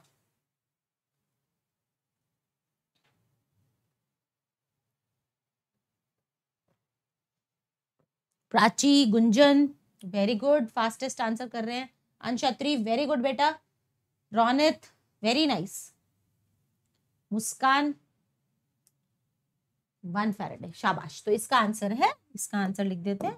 One faraday is required okay this is the answer second करते हैं। इसका सेकेंड वाला पार्ट करते हैं। This is first part A L two O three A L two O three A L two O three में aluminium की oxidation state क्या थी बच्चों? एल्यूमिनियम की ऑक्सीडेशन थी स्टेट थी plus three aluminium plus three बाकी मैं ये एल टू ओ थ्री का ये सब हटा रही हूँ. एल्यूमिनियम की ऑक्सीडेशन स्टेट थी प्लस थ्री और प्लस थ्री ने तीन इलेक्ट्रॉन एक्सेप्ट किए, तब वो एल्यूमिनियम बनेगा, जिसका मोलर मास होता है ट्वेंटी सेवन ठीक है? तो अगर इस विच मीन्स कि थ्री थ्री फेरेडे चार्ज से सत्ताईस ग्राम एल्यूमिनियम का डिपोजिशन होता है. तो फिर चालीस ग्राम का कितने से होगा? यूनिटरी तो जब थ्री फेरेडे चार्ज से सत्ताईस ग्राम का डिपोजिशन होता है तो वन ग्राम के डिपोजिशन के लिए कितना रिक्वायर्ड है? Three faraday upon twenty seven और चालीस ग्राम के लिए कितना रिक्वायर्ड है? Three faraday upon twenty seven into forty ये इतना कूलम्स की रिक्वायरमेंट है। इसको सॉल्व कर लो। Three into nine six five double zero three into nine six five double zero into forty upon आया समझ? एक लेवल अप कर दूँ, अगर समझ में आ गया तो इसका आंसर जो भी आएगा, उतना कूलम चार्ज चाहिए एक ग्राम की डिपोजिशन के लिए। फोर पॉइंट फोर फैरेडे बिल्कुल सही आर्नी वर्मा वेरी गुड राखी ठीक है क्लियर हो रहा है थम्स अप करते जो सेशन को भी ज़रूर लाइक करना, अगला ले लो। अब देखो, मस्त सवाल है। फॉर हाउ लॉन्ग अब तुम, अब तुम्हें एक लेवल अप कर दिया, एक स्टेज हाई कर दिया। Can you crack it tell me for how long यानी टाइम पूछ रहा। हाउ लॉन्ग मतलब he is asking for a time कितने समय के लिए time has to be in seconds only minutes या वो मत देना, कितने समय के लिए 1.5 एम्पियर के करंट को हम पास करें कि एल्यूमिनियम के एक ग्राम का डिपोजिशन है just try to find out charge पहले। पहले ये फाइंड आउट करिए कि थ्री फेरडे पहले आपको नॉलेज होना चाहिए बेसिक कि थ्री फेरडे से तो भाई एक मोल एल्यूमिनियम जमा होता है, क्योंकि थ्री इलेक्ट्रॉन से एक एटम जमा होता है तो थ्री मोल से एक मोल जमा होता है थ्री मोल चार्ज कितना होता है थ्री फेरडे तो एक मोल जिसका मास होता है ट्वेंटी सेवन ग्राम, ठीक है? तो एक ग्राम के लिए हमें कितने चार्ज की ज़रूरत है? Three into nine six five double zero upon twenty seven इतने कूलम्स चार्ज की हमको ज़रूरत है for depositing one gram of aluminium I hope it is clear so this is the charge. For giving this charge, you have current strength i, which has to be passed for time t in seconds. Current strength I की value कितनी दे रखी है? आई की value दे रखी है 1.5 ampere. तो वो तुमसे पूछ रहा है कि एक ग्राम एल्यूमिनियम को डिपॉजिट करने के लिए आप 1.5 एम्पियर करंट को कितने सेकंड्स के लिए पास करेंगे? कैन यू फाइंड आउट बच्चों? बहुत ही सिंपल सा क्वेश्चन है, मुझे आंसर दीजिएगा सेकंड्स में।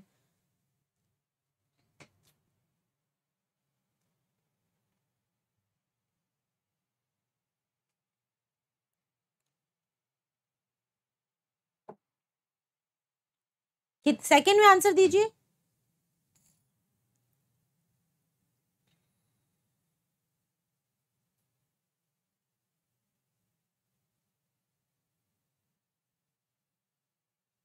Thank you Priya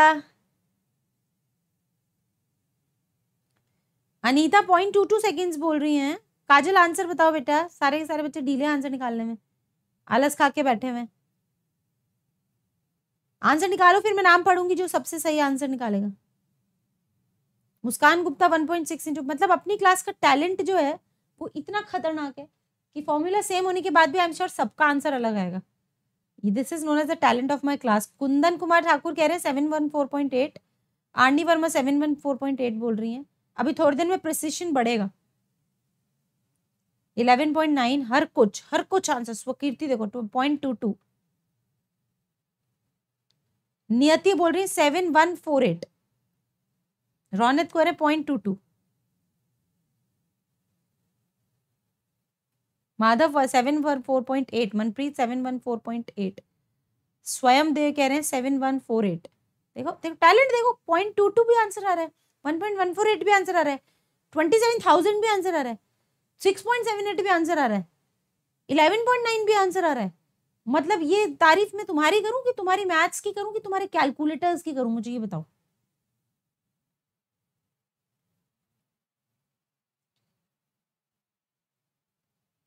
हैं? कर सब कैलकुलेटर से कर रहे हैं और उसके बावजूद भी आंसर क्या आ रहे हैं? सबके अलग।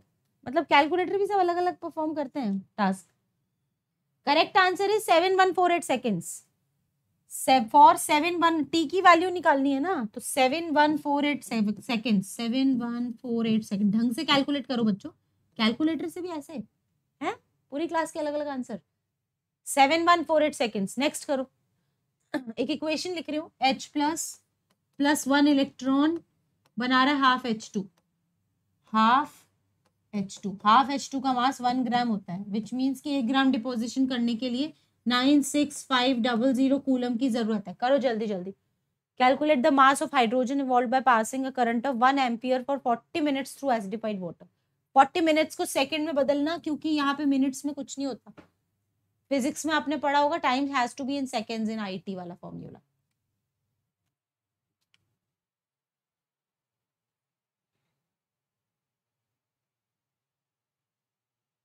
करो फटाफट से I give you thirty seconds and I start solving it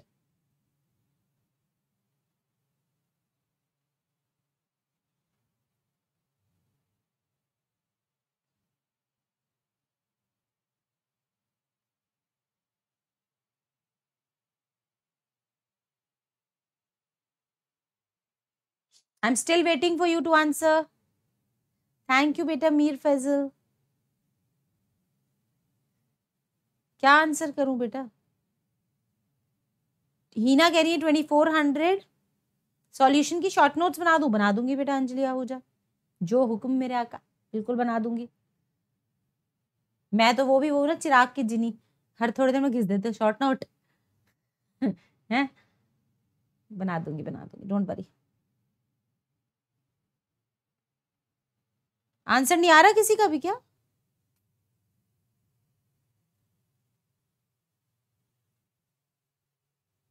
कितना आ रहा है? आंसर आपको बताना है ग्राम में डिपोजिशन बतानी है। तो मैं बता दूँ फाइनल आंसर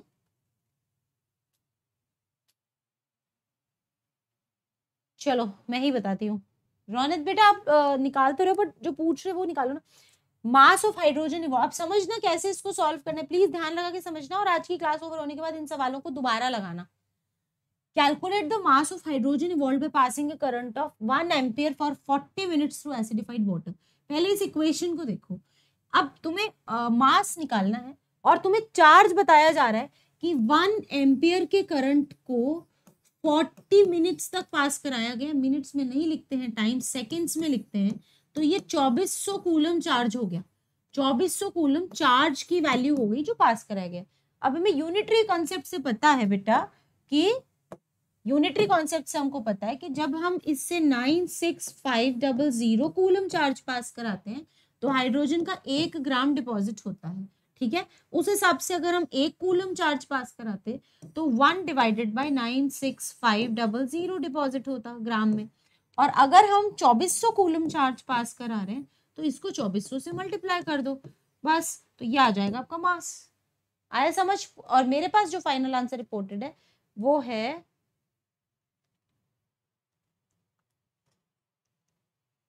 कितना आ रहा है आप लोग का?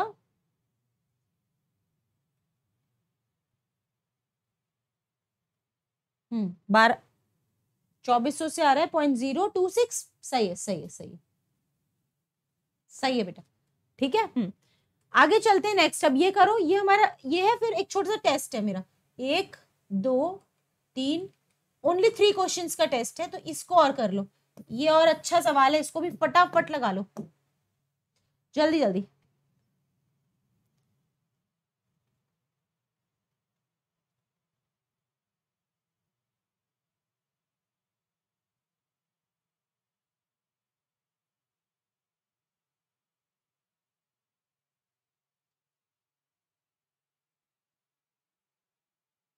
पॉइंट फाइव लिखा था क्या?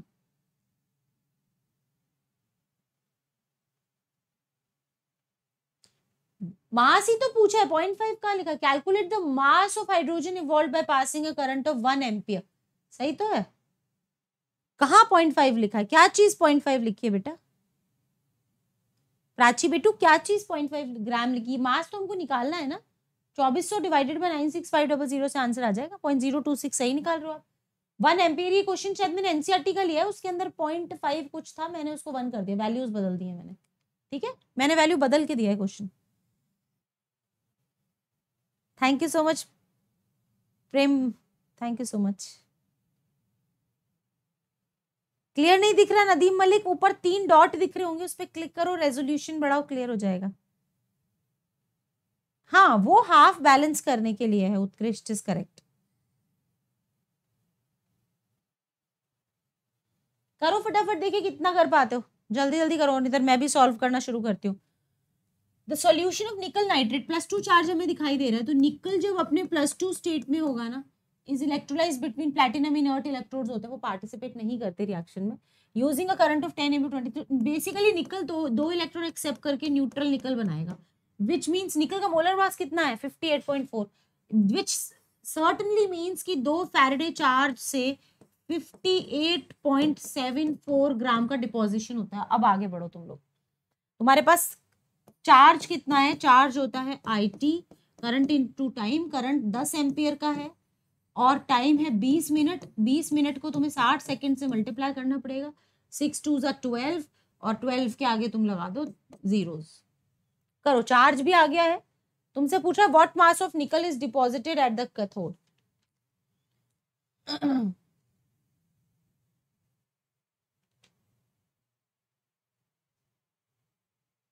दस एम्पियर बीस मिनट के लिए करवा रहे हैं हम।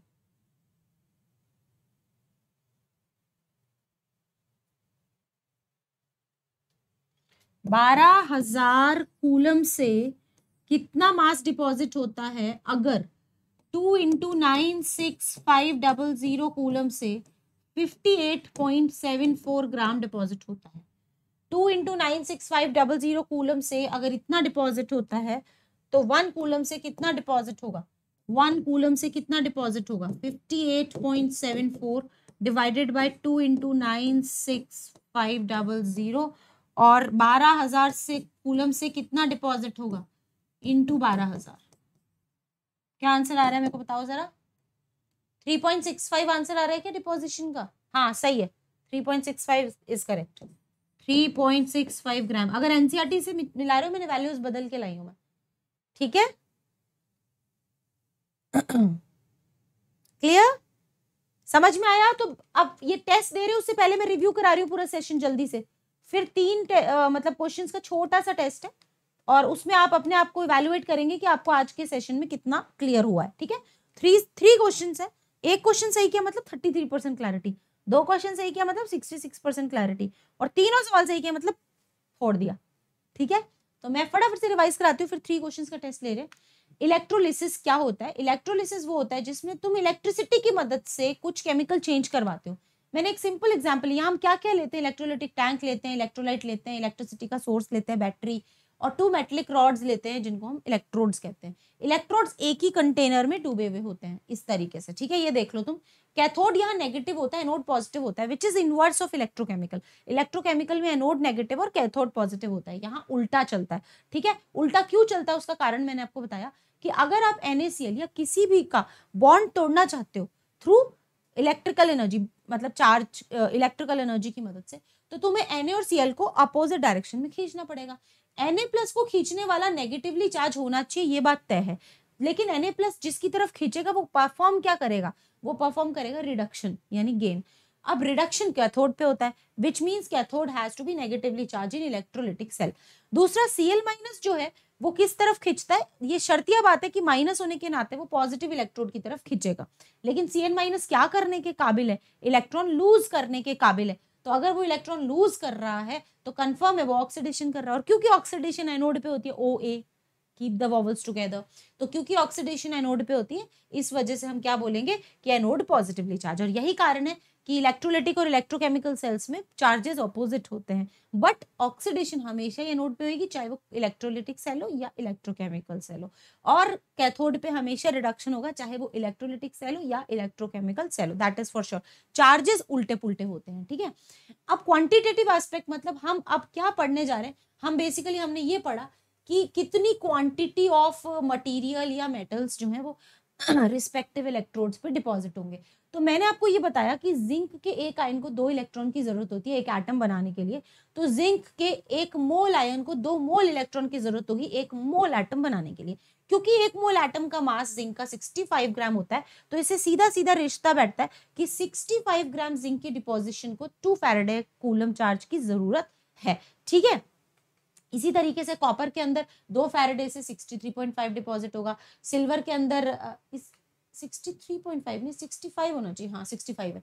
सिल्वर के वन फेरेडे से 108 ग्राम डिपॉजिट होता है। यहाँ हमने एक चीज़ सीखी कि what if if we pass charge more than one faraday एक फेरेडे से ज़्यादा चार्ज अगर हम पास करें व्हाट विल हैपन देन ज़्यादा मास डिपॉजिट होने लगेगा। तुम चार्ज पर, पास कराते जाओगे आयंस का रिडक्शन होता रहेगा वो एटम्स बन बन के इलेक्ट्रोड्स पे चिपकते रहेंगे डिपॉजिट होते रहेंगे। तो more is the charge more is the mass this is Faraday's first of electrolysis कि जितना ज़्यादा आप क्वांटिटी ऑफ़ चार्ज पास कराएँगे ये बिल्कुल रिलेटेड है। क्वांटिटेटिव कर रहे हो आप आज इलेक्ट्रोलिसिस ठीक है? तो क्वांटिटी ऑफ़ चार्ज ज़्यादा होगा तो मास भी ज़्यादा होगा। दूसरा है Faraday second law Faraday second law में तुमने देखा कि अगर तुम सीरीज़ में सारे सेल लगा दो, सब में से बराबर चार्ज पास कराओ तो जिसका मोलर मास ज़्यादा और जिसका इक्विलेंट मास ज़्यादा है, वो ज़्यादा डिपॉजिट होता है। तो ये हुआ फेरेडे सेकंड लॉ फिर हमने बोला कि हमको यूनिटरी पर मैथ्स पे थोड़ा सा अच्छा कमांड होना चाहिए तो हमारा ये आ जाता है। कि जब हमने इस तरह के सवाल किए कि अगर मैग्नीशियम का एक मोल डिपॉजिट करने के लिए दो फैरडे की ज़रूरत है तो एक ग्राम डिपॉजिट करने के लिए कितने चार्ज की ज़रूरत होगी और वो चार्ज कहाँ से आएगा? करंट इनटू टाइम से। तो सपोज़ आपको कोई करंट दे दे तो आप टाइम निकाल सकते हो और अगर कोई आपको टाइम दे दे तो आप करंट स्ट्रेंथ निकाल सकते हो। आयरन के एक मोल डिपॉजिट करने के लिए थ्री फेरेडे चार्ज की ज़रूरत है। आयरन का एक ग्राम डिपॉजिट करने के लिए कितने की ज़रूरत होगी? थ्री फेरेडे अपॉन आयरन का मोलर मास, ठीक है? अगर आपको उस चार्ज के बारे में पता है, जो कि आपने यूनिटरी से निकाल दिया है तो आप उसको इक्वेट कर दो करंट स्ट्रेंथ इनटू टाइम से, क्योंकि चार्ज आप करंट पास करते हो एक पर्टिकुलर स्ट्रेंथ का कुछ समय के लिए। तो अगर आई पता है तो टी निकाल सकते हो टी पता है तो आई निकाल सकते हो। सिमिलरली इस तरह के सवाल हमने किए, काफ़ी इजी हमको लगे। और यहाँ हमने जैसे पूछा कि कितने टाइम के लिए हम डेढ़ एम्पियर का करंट पास करें? तो डेढ़ एम्पियर का करंट कितने टाइम के लिए पास करें? वो तो Q is equals to I वाला फॉर्मूला है तो पहले चार्ज तो निकाल लें। तो चार्ज निकालने के लिए हमने यूनिटरी लगाया कि भाई तीन फेरेडे से सत्ताईस ग्राम की डिपॉजिट होती है। तो एक ग्राम की डिपोजिशन होगी three faraday upon twenty seven से। तो एक ग्राम डिपॉजिट करने के लिए हमारे पास चार्ज आ गया और इस चार्ज को हमने आई से इक्वेट कर दिया। तो current strength one point ampere थी टाइम हम निकाल लेंगे। ठीक है? इसी तरीके से यूनिटरी कॉन्सेप्ट के थ्रू हमने आज ये क्वेश्चन किए। टेस्ट स्टार्ट हो रहा है। The charge require for reducing one mole of this to this करो।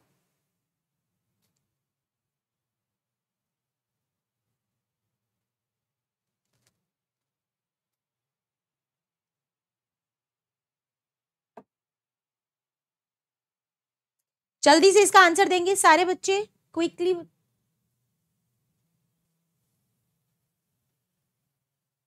charge require for reducing one mole of MnO4 minus इसमें ऑक्सीडेशन स्टेट प्लस फाइव है, और इसमें ऑक्सीडेशन स्टेट प्लस टू है। Sorry plus seven I am so sorry plus seven plus seven है, और इसमें plus two है। हाँ क्या आंसर आ रहा है? देखते हैं किस किस के क्या क्या आंसर आ रहे हैं। Let me just see Hina Parvez का डी आ रहा है, उत्कृष्ट का क्लियर उत्कृष्ट आंसर तो काजल का डी सुखमन का डी एंड uh, दिया का डी स्वकीर दी यस बेटा। जिस जिसने डी मार्क किया है वो अपने आप को बोल दो भाई थर्टी थ्री परसेंट तो चमक गया आज का लेक्चर ठीक है? वन थर्ड नंबर तो आ गए। और ये बहुत सिंपल था कि मैंगनीज जो है उसमें प्लस सेवन का चार्ज है। तो उसको नेचुरली फाइव इलेक्ट्रॉन्स की ज़रूरत पड़ेगी प्लस टू स्टेट में आने के लिए। ठीक है? विच मीन्स कि इसको फाइव फैरेडे की ज़रूरत पड़ेगी एक मोल के लिए। The charge required for reducing one mole तो वन मोल अगर करना है तो फाइव पैराडे की ज़रूरत पड़ेगी इसको फाइव पैराडे की। और फाइव पैराडे कितना होता है? Five into nine six five double zero coulomb और उसकी वैल्यू ये आ जाएगी। बस सिंपल नेक्स्ट वाला how much electricity in terms of faraday is required to produce hundred gram of calcium from this अगला सवाल आपकी स्क्रीन पे आ चुका है, आपके सामने।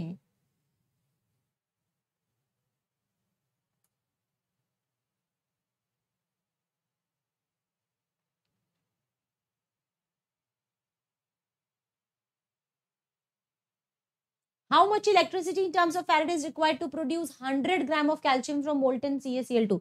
Those those students who are following me, they should follow me everywhere. ये जो छोटे छोटे क्वेश्चन में तुम्हारे टेस्ट के लेके लेके आती हूँ ये नीट जेई के सवाल है बच्चों। इसको बनाने में मेहनत लगती है। तो आप मुझे हर जगह फॉलो करोगे तो डेफिनेटली आपकी नीट और जेई मेंस की तैयारी भी हो जाएगी। तो ज़्यादातर बच्चे आंसर दे रहे हैं बी और मुझे चेक करना पड़ेगा कि आंसर क्या है। तो प्रिसिशन बहुत है यहाँ पे। दिया कह रही है, बी स्वकीर्ति हिना डी बोल रही है, काजल बी बोल रही है, उत्कृष्ट बी बोल रहे हैं दिया रंजन हिना परवेज डी बोल रही है और स्वकीर्ति बी बोल रही हैं, आयुष बी बोल रहे हैं। और एक मिनट एक minute, Arni Verma, answer tick लगाओ बेटा।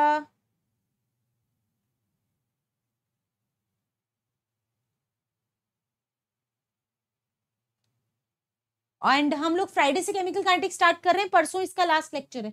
Wednesday will be the last session for this particular chapter we are starting with new chapter on Friday please inform everyone है ना anyways molten C A C L two calcium chloride C A C L two charge क्या था? Plus two था, है ना? सी A C L two में सी L to को हटा देती हूँ it will unnecessarily confuse you तो इसमें हम सी ए प्लस टू ये दो इलेक्ट्रॉन एक्सेप्ट करता है तो क्या बनाता है? कैल्शियम बनाता है। कैल्शियम का मोलर मास कितना होता है? फोर्टी ग्राम्स होता है विच मीन्स कि दो फेरेडे चार्ज से चालीस ग्राम की डिपोजिशन होती है। तुम्हें कितना डिपॉजिट करना है? हंड्रेड ग्राम तो तुम्हें कितना फेरेडे चाहिए होगा? जस्ट अप्लाई यूनिटरी कॉन्सेप्ट अगर दो फेरेडे से चालीस, दो फेरेडे से चालीस ग्राम डिपॉजिट होता है तो हंड्रेड ग्राम कितने से डिपॉजिट होगा? पाँच फेरेडे से होगा ना? बहुत ही कम बच्चे, बहुत ही कम बच्चे फाइव फेरेडे बोल रहे थे विच वॉज़ द करेक्ट तो चलो बच्चों, उड़ा लो अपने number thirty three percent number उड़ गए तुम्हारे. क्योंकि इतनी स्पैम आंसर आया बी क्यों बी भाई?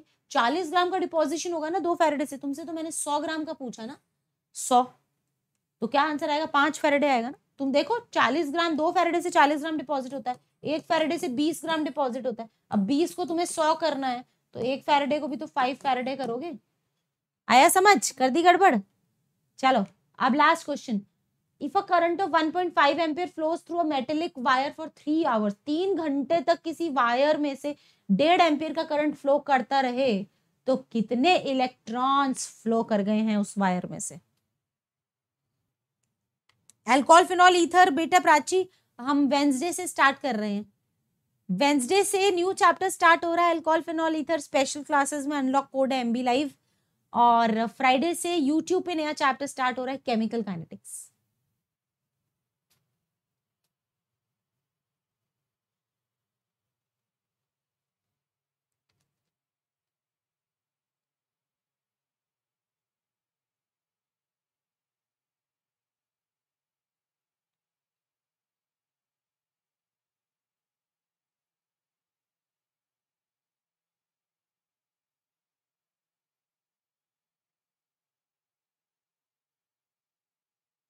क्या आंसर आ रहा है? दिया का सी, निशांत का सी, रौनक का सी, आयुषी का सी। सारे बच्चे आंसर करो फटाफट फटाफट। बस ये लास्ट क्वेश्चन है। सबका सी आ रहा है? एक इलेक्ट्रॉन पे चार्ज होता है 1.6 पॉइंट सिक्स इंटू टेन की power minus nineteen coulomb if a current of 1.5 point five ampere flows through a wire तो पहले हम निकाल लेते हैं कि कितना चार्ज है टोटल 1.5 एम्पियर के करंट को थ्री आवर्स तक फ्लो कर रहे हैं तो पहले तो मिनट्स में कन्वर्ट करो, फिर उसके बाद सेकंड्स में कन्वर्ट करो तो ये टोटल चार्ज आ जाएगा आईटी से। इस चार्ज को डिवाइड कर दो, एक इलेक्ट्रॉन के चार्ज से 1.6 पॉइंट सिक्स इंटू टेन की power minus nineteen correct answer है this 1.01 point zero one into ten की power twenty three electrons hundred percent किसके मार्क्स आए हैं? मुझे ये बता दो। हंड्रेड परसेंट किसके मार्क्स आए हैं? ठीक है? And this is over from twenty fifth June यानी कि हम लोग रात को नौ बजे से स्टार्ट कर रहे हैं chemical kinetics new chapter interesting chapter मज़ेदार chapter from twenty fifth June ठीक है? परसों इसकी लास्ट क्लास होगी ठीक है? एंड uh, ये मेरा यूट्यूब का स्केड्यूल है जिसमें मैं नौ से दस ऑल्टरनेट पढ़ाती हूँ ट्वेल्थ के बच्चों को और चार से पाँच ट्यूसडे ऑल्टरनेट पढ़ाती हूँ मैं इलेवेंथ के बच्चों को। तो आपके हंड्रेड परसेंट है हिना परवेज के? अरे वाह अरे वाह very nice sixty six percent Rakhi क्या है? Good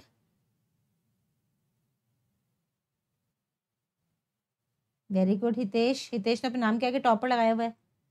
आदित्य की सिक्सटी सिक्स अनक्षत्री के सिक्सटी सिक्स, कोई बात नहीं, यहाँ तो तीन ही चीज़ थी, thirty three, sixty six and hundred हाँ स्वकीर्ति।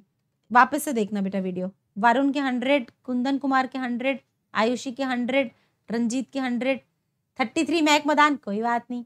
कोई बात नहीं बेटा खेल खेल की बात है। सुकमन थर्टी थ्री परसेंट, कोई बात नहीं बेटा। कोई बात नहीं। गार्गी के sixty six, nice. Sweety Mishra hundred. चलो, गुड गुड गुड। तो ऐसे ही छोटे मोटे टेस्ट लेती रहती हूँ बेटा। इन टेस्ट का मकसद सिर्फ़ इतना होता है कि आपसे जेई नीट के सवाल प्रैक्टिस करवाने बस। सिंपल, और कुछ नहीं। आप कुछ अच्छे सवाल प्रैक्टिस कर दो कि कॉन्सेप्ट लेवल जो है वो खुलता है। ठीक है? क्वेश्चन आप गलत करो, कोई डजेंट मैटर बट आप कुछ सीखो उससे। अगर आप गलत भी कर रहे हो तो भी आप ये सीखो कि आपने गलत क्यों किया है। वो चीज़ बहुत मैटर करती है। आगे बढ़ते हैं बच्चों।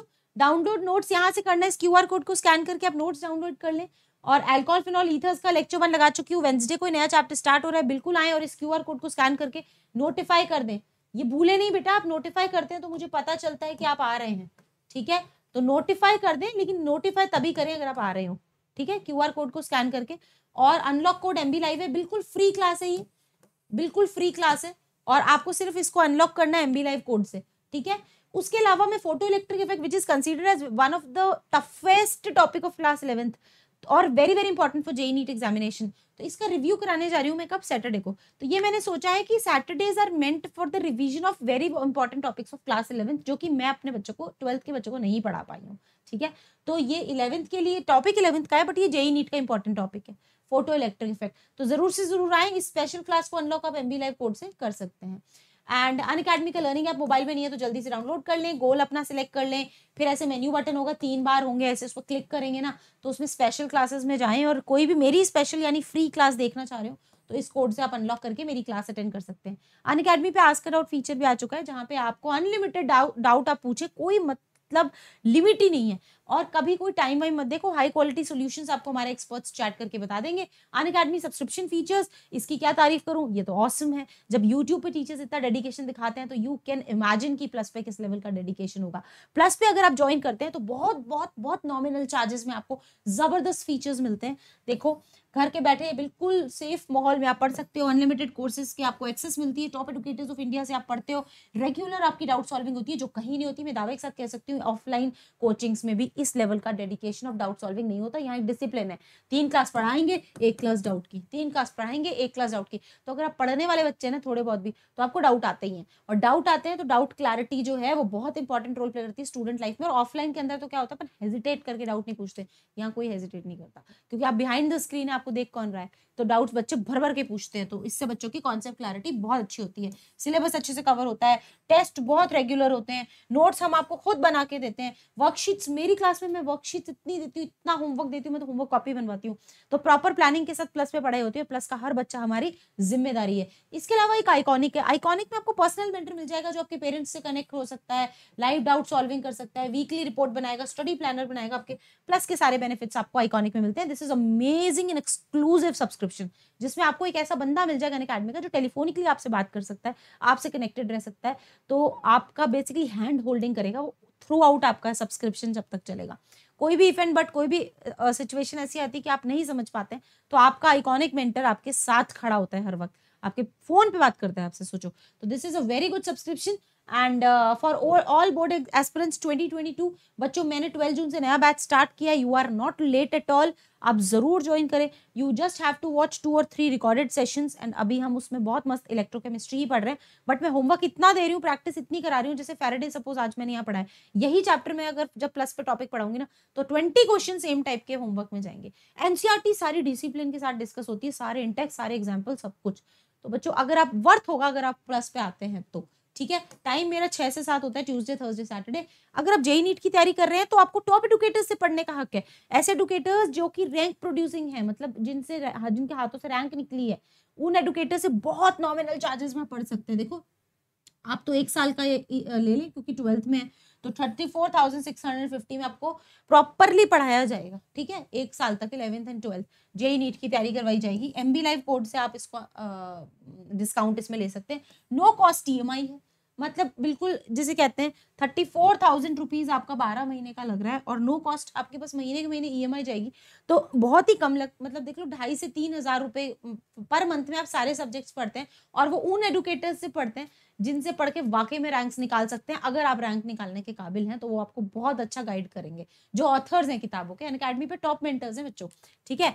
एंड इसके अलावा अगर आप हमसे, मुझसे पढ़ना चाहते हो तो ये सब्सक्रिप्शन आप ले सकते हो। तो सपोज़ आपने एक साल का लिया, पंद्रह हज़ार का है अगर आपको मुझसे कनेक्शन फील होता है be proud to use this code M B live and welcome to M B army M B live code use करके ये हो जाएगा थर्टीन थाउज़ेंड फाइव हंड्रेड इसमें कुछ फ्री भी मिलेगा डिस्काउंट्स भी चल रहे हैं और ये सारे सब्जेक्ट का है और ये पूरे साल का है। तो ये तेरह हज़ार पाँच सौ इज़ नथिंग ऑफलाइन के अंदर ही एक सब्जेक्ट की फ़ीस इससे डबल होती है।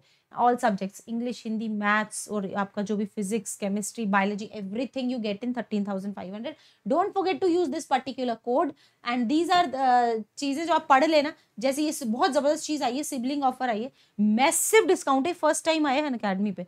कि अगर आपका सिबलिंग की सिबलिंग भी कोई सब्सक्रिप्शन ले रहा है तो आपको सेकंड आइकॉनिक सब्सक्रिप्शन पे ज़बरदस्त डिस्काउंट मिलता है।